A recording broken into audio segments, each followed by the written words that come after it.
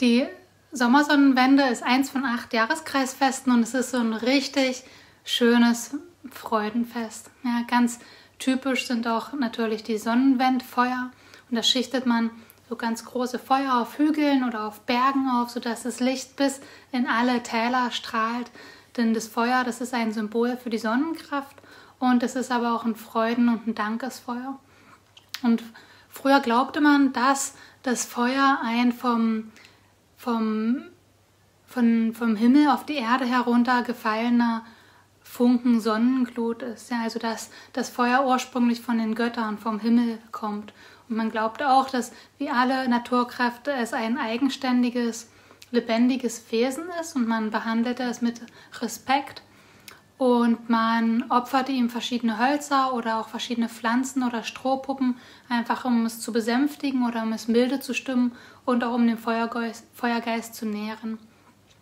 Und das Feuer, das hat auch transformierende, segnende, reinigende, heilsame Kräfte und deshalb sprang man zum Beispiel früher auch übers Feuer, einfach um sich zum Beispiel vor Krankheiten zu schützen oder auch um Krankheiten von sich abzustreifen. Oder Liebespaare, die hielten sich an den Händen und sprangen dann gemeinsam übers Feuer, um ihre Verbindung und ihre um ihre Verbindung einfach mit Liebe und mit Fruchtbarkeit zu stärken und zu segnen.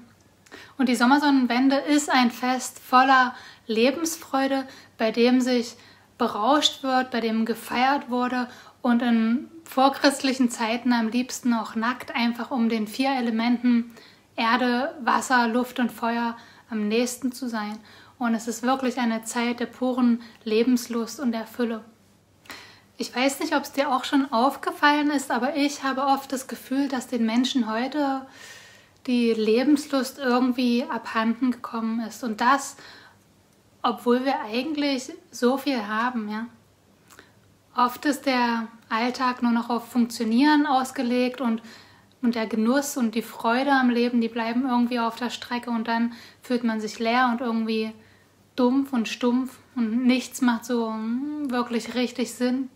Ja, vielleicht Kennst du das von dir selbst auch oder vielleicht hast du jemanden in deinem Umfeld, von dem du das kennst? Ich glaube, ein, ein Grund dafür ist, dass bei vielen die Fähigkeit, sich zu wundern, verkümmert ist. Ja, wir leben in einer Welt, in der alles bis ins kleinste Detail auseinander gepflückt und untersucht wird. Unerklärbares ist irgendwie schlecht zu ertragen und dann wird es entweder so lange auseinandergenommen, bis irgendwo, bis es irgendwo Sinn macht oder es wird einfach direkt für Spinnerei erklärt. Und die Dinge werden entmystifiziert. Es gibt offiziell irgendwie keinen Raum mehr, in dem die Dinge einfach so sein können, wie sie sind, ohne dass sie mit dem Verstand verstanden werden müssen. Und dadurch verkümmert natürlich die Fähigkeit, sich zu wundern und das Leben als das zu sehen, als was es eigentlich ist, nämlich etwas Wunderbares. Ja.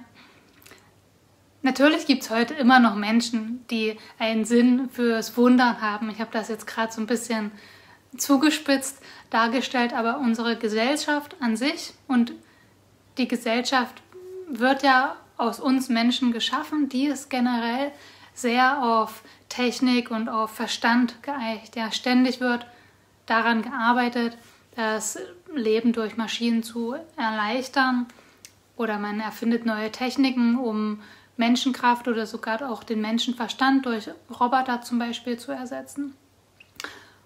Und deshalb wundert es mich eigentlich auch gar nicht, dass es heute so viele Menschen gibt, denen die Lebenslust abhanden gekommen ist und die sich irgendwie leer fühlen.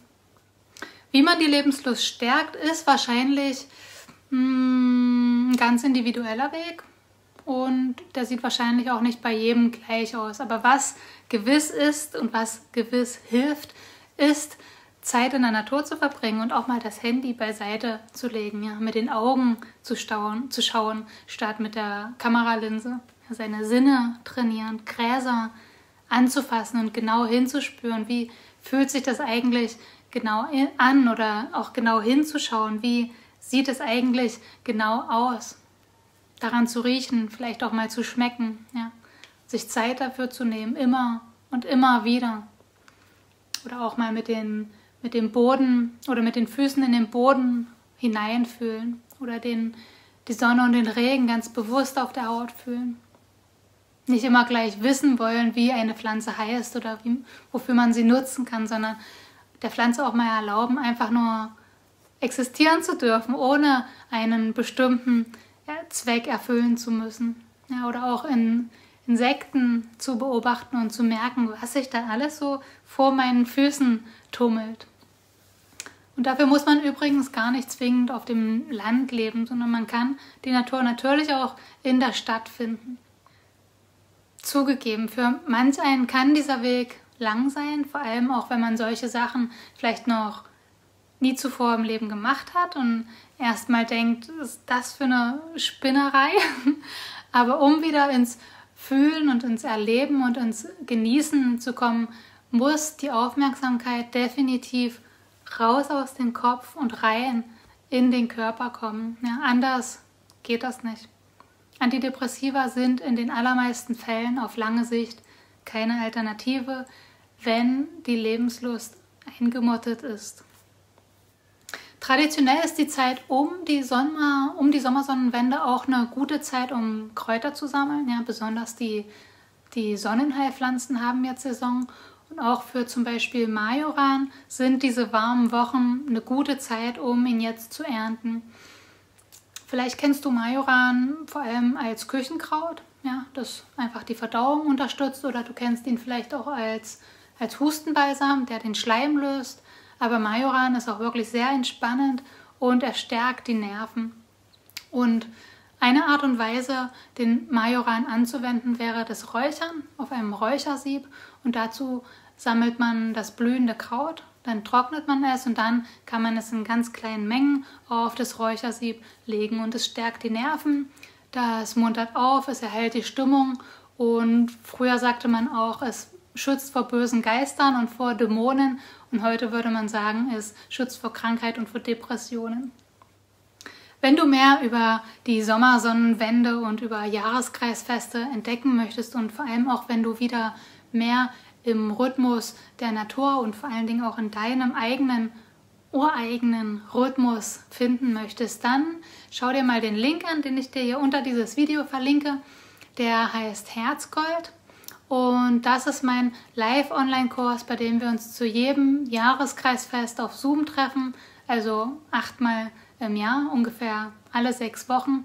Und dann entdeckst du mehr über alte Bräuche, über Göttergeschichten und auch über Räucherpflanzen und du kommst, hast so ein bisschen Zeit, um runterzukommen, um dich wieder auf dich zu besinnen und um auch wieder mehr zu dir zu finden.